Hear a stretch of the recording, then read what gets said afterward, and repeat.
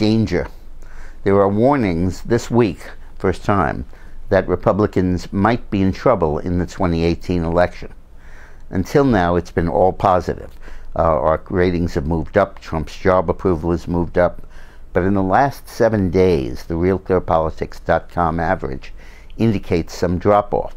The Democrats have gained four points in the generic ballot against the Republicans, and Trump's job approval has fallen from 44 to 42 after advancing steadily from 37 to 44. This highlights the need for a new strategy as we approach the 18 elections.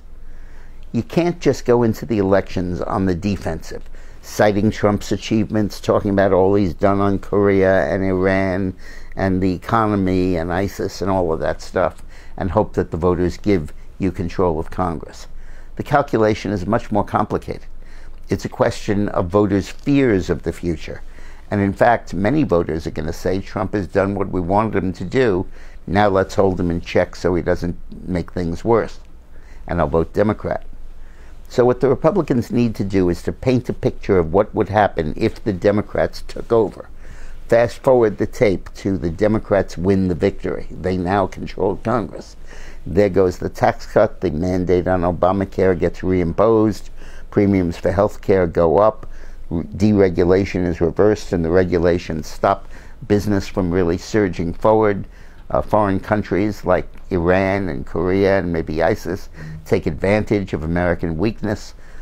Go forward and say what would happen if we lost the election, and then make that a very major basis of the campaign. When I was running Clinton's campaign against Dole, uh, when we were approaching the congressional elections, uh, I said, what happens if Dole is president and Gingrich controls Congress? There'll be nobody there to stop him. And that's the kind of strategy you need as you go into the 18 elections. Today's lunch alert is sponsored by the Patriot Gold Group. The economy looks pretty good, but there are some danger signs. Uh, rising gas prices uh, could herald a slowdown.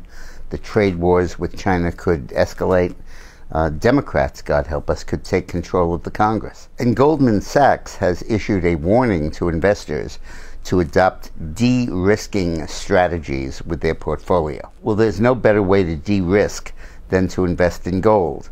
Uh, even when the market crashed in 07 and 08, gold grew by 4%. And as things get more volatile and more risky, more and more people go to gold. There also is a parallel between the price of gold and the price of oil. Uh, since 1946, there has been a pretty set formula of about 25 barrels of oil equaling one ounce of gold in price. In fact, that's how gas prices and oil prices are determined by that ratio. And uh, increasingly, the oil has gone ahead of the gold. Now it takes only 19 barrels of oil to buy one ounce of gold.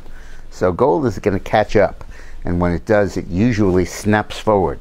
Last time this happened two years ago, it grew by almost $200 an ounce. So go to the Patriot Gold Group, at the number on the screen, or go to their website, patriotgoldgroup.com. Thanks.